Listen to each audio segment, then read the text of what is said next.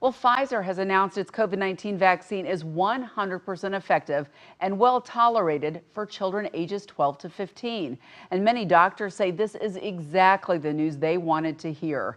Fox 2's Kelly Hoskins is live outside SSM Health Cardinal Glennon Children's Hospital tonight with the developments. Kelly?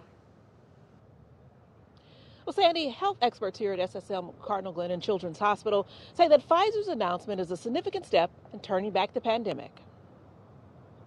Pfizer says its COVID 19 vaccine is safe and 100% effective in preventing the illness in preteenagers and teens ages 12 through 15.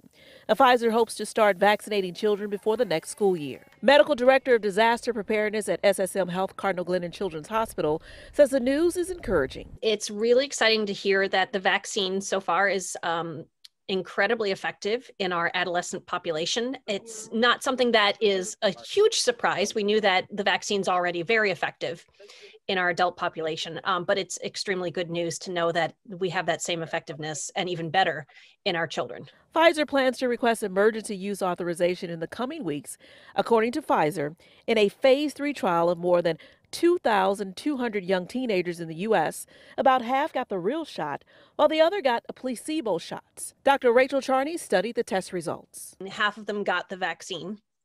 And what they found is that uh, there were cases of COVID in the group that got the placebo, uh, but those who had the actual vaccine, no one got has gotten COVID up to this point that they've been following the children. Dr. Alex Garza with the St. Louis Metropolitan Pandemic Task Force in Wednesday's media briefing says the study shows promising news.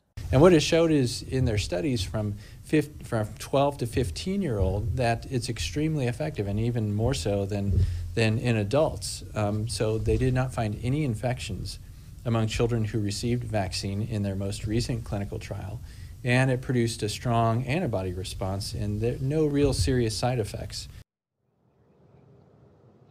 Well, Pfizer will submit its adolescent plan to the U.S. Food Drug Administration for authorization. It's unclear how long the FDA will take to review the request.